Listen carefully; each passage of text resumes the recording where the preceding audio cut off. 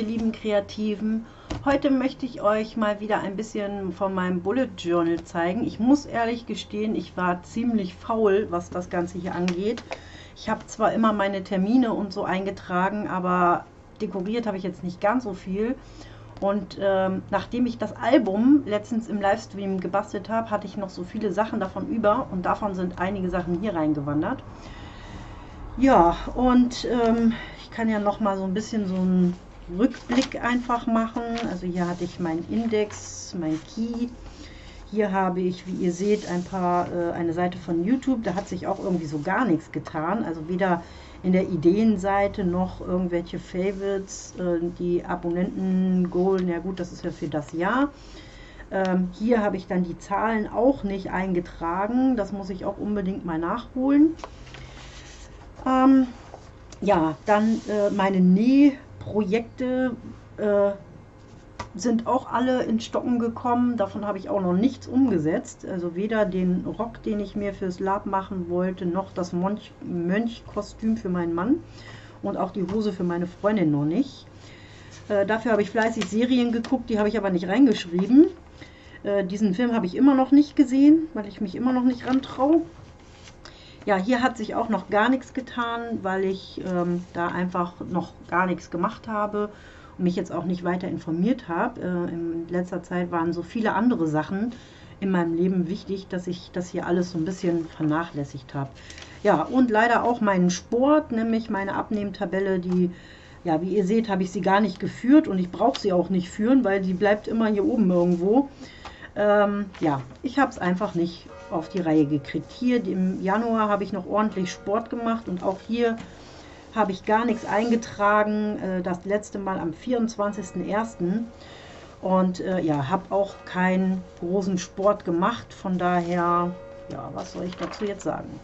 Ja, dann war ja hier jetzt mein Januar. Da hatte ich sehr viel mit Stempeln gearbeitet und die dann ausgemalt. Und äh, ja, hier habe ich meinen Geburtstagskalender, den blättere ich mal schnell weiter, weil hier stehen halt eben auch einige persönliche Namen drin. Ich halte es mal so ein bisschen hoch zu und ich habe halt hier einfach nur dann oben Geburtstage und habe das dann halt mal dementsprechend eingetragen.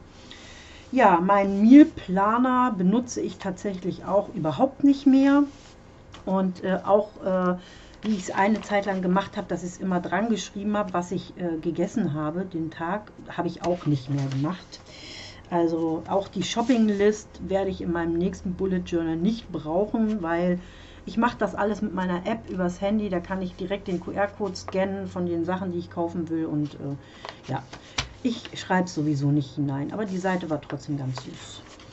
Ja, der Februar, da hat sich auch äh, einiges getan. Also Termine hatte ich immer genug, aber ja, auch äh, meine Memories, ähm, wie ihr seht, sind noch leer.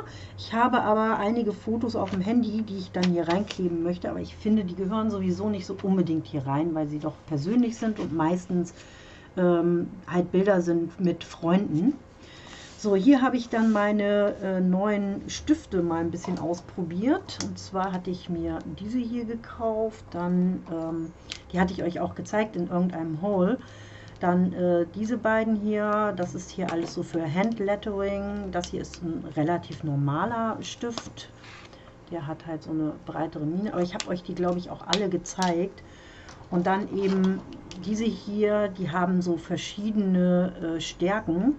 Und mit denen habe ich dann hier diese ganzen Äste mit Blättern gemalt und das ging so eigentlich den ganzen Februar äh, und auch jetzt hier in den März hinein, äh, wo ich dann immer wieder solche Ranken mir gemalt habe. Ja, und hier geht es jetzt los, wo ich halt wirklich komplett faul war und dann ähm, ja hier immer nur Aufkleber oder ähm, die Stanzformen mir rausgemacht habe und dann eben aufgeklebt habe. Ja, hier war meine Zeit auf der Kreativa. Dann, äh, ja, hier, wie ihr seht, das ist halt alles aus diesem einen Set, was ich so schön fand. Und äh, ja, hier dann die Seite. Ja, hier war mein Geburtstag und hier ist ein Geschenk und da habe ich mir was reingemalt und ich habe was richtig, richtig wirklich mega cooles Geschenk gekriegt. Das kommt aber erst im Mai, Anfang Mai. Und äh, ja, ich kann mir gut vorstellen, dass äh, in der Rubrik äh, On Tour, dass ich da ein paar Videos auch von meinem neuen, äh, ja, von meinem Geschenk halt mache. Genau, so.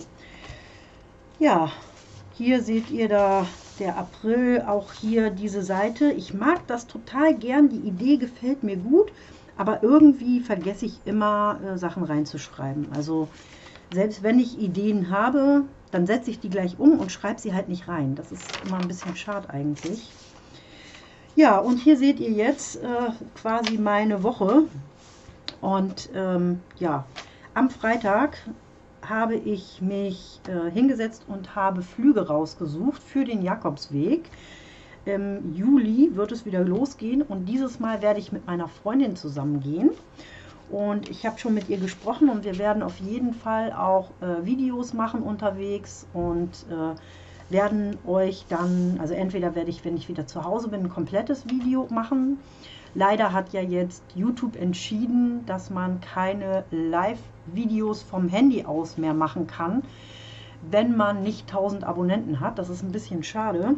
Äh, deswegen werden Live-Sachen auf jeden Fall wegfallen, aber Vielleicht werde ich einfach abends so eine kleine Sequenz äh, aufnehmen und die dann hochladen. Das kommt ja auch immer ein bisschen drauf an, wie ich ähm, dann eben meine, äh, wie mein Internet so ist. Ne? Obwohl letztes Jahr war ja wirklich sehr, sehr gut der Internetempfang auf dem ganzen Weg. Und ähm, ich habe auch genug Kapazität, um da was zu machen. Das ist überhaupt kein Problem. Also ihr werdet auf jeden Fall was von mir hören oder ich werde wieder wie beim letzten Mal ähm, Videos vordrehen sozusagen und ähm, die dann eben planmäßig online kommen lassen, so dass ihr dann trotzdem Unterhaltung habt. Ja, und dann kommt jetzt theoretisch schon ähm, die äh, Zukunft, sage ich jetzt mal, so die nächsten Tage, äh, was ich hier so mache. Und auch hier so für die Osterzeit zum Beispiel habe ich dann hier ähm, ja, schon ein paar Sachen reingeklebt hier, da hatte ich mich verschrieben und deswegen musste ich dann das Memories auf so ein Zettelchen machen und habe das dann gedacht, ach, das sieht so langweilig aus, beglitzerst du und dann sah es hier total dreckig aus durch dieses Glitzer. Das war echt schade. Aber na gut, ist jetzt wie es ist. Ja, dann habe ich äh, aus, Sp aus Spanien, Quatsch, aus China meine Stempel bekommen, auf die ich schon gewartet habe. Und zwar sind das hier solche, wo man dann ähm, einmal so eine Spalte hat für die Wochentage. Also entweder fängt man mit dem Sonntag an oder mit dem Montag. Ich fange immer mit dem Montag an. Und dann hat man hier eben wirklich, äh, egal an welchem Tag äh, die Woche anfängt, für jedes Ding hat man ein Teil. Also das ist ganz praktisch und dann braucht man es immer nur drunter stempeln, nur gucken, wann fängt äh, der Monat an. Hat der 30 Tage oder nicht? Wenn nicht, kann man es zukleben oder eben danach vorsichtig abwischen. Und dann äh, stempelt man es einfach nur drauf und das erspart extrem Zeit, weil ich habe ja das ähm, hier vorne ja immer mit der Hand geschrieben und das hat halt ziemlich viel Zeit in Anspruch genommen. Und so ist das natürlich zweimal gestempelt, fertig oder dreimal, wenn man den Rahmen noch dazu macht, habe ich aber auch nicht immer gemacht. Ja, so hier ist dann, äh, wie gesagt, jetzt auch noch nichts groß dekoriert, ist ja auch noch gar nicht dran. Das war ja jetzt eigentlich nur bis, ähm, ja, so, bis hier. Ne? Genau. Und wie ihr seht, das ist hier jetzt auch noch nicht dekoriert. Das äh, werde ich die Tage aber auf jeden Fall noch machen. Und irgendwo dazwischen habe ich, glaube ich, eine Seite die ich auch noch nicht, genau die hier, da werde ich mir auch noch mal irgendwas überlegen und werde, glaube ich, irgendwas reinkleben.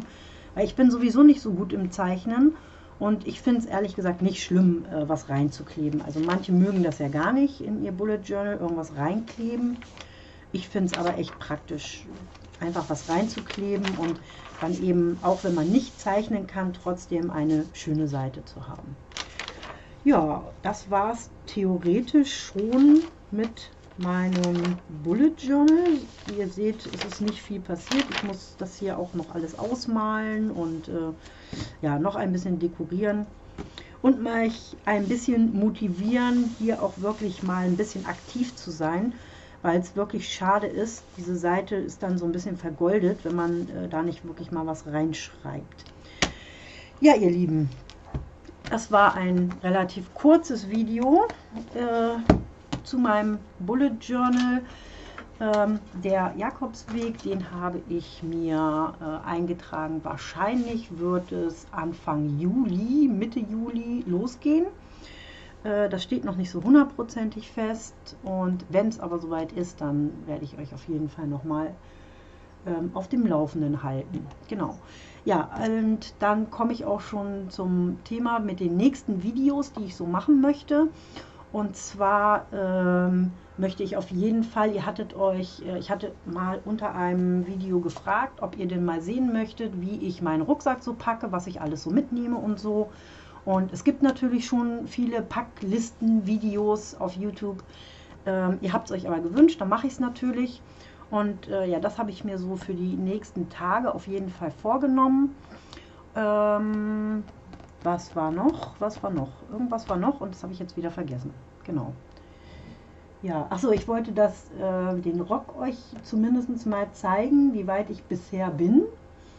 Ähm, ja, das ist halt schwierig, den zu filmen, während man näht, weil man muss immer Teile zurechtschneiden und dann macht man sie wieder dran, näht sie fest, dann schneidet man wieder Teile aus und also das ist halt so ein Rock, der aus mehreren Lagen quasi entsteht.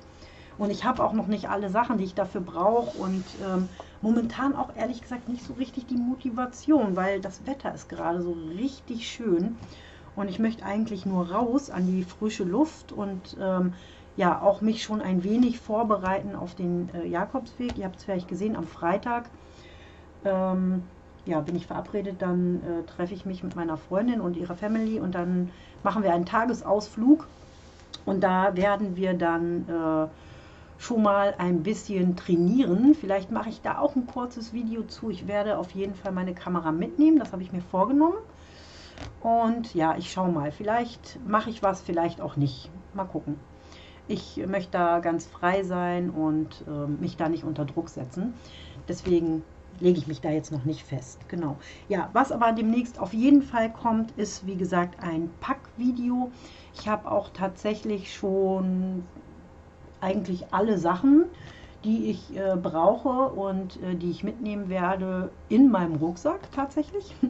äh, sie sind tatsächlich schon drin und der Rucksack steht unten, damit ich halt äh, ja, wenn ich dann mal losziehe irgendwo hin, dass ich den Rucksack auf jeden Fall mitnehme und meinen Rücken und alles auch schon ein bisschen an das Gewicht und so weiter gewöhne.